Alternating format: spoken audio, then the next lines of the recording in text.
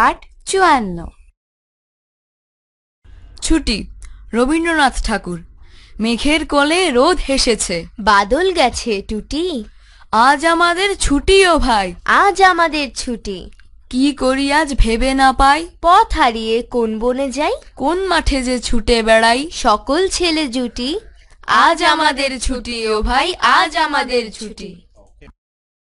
নিচে শব্দ দিয়ে বাক্য লিখি।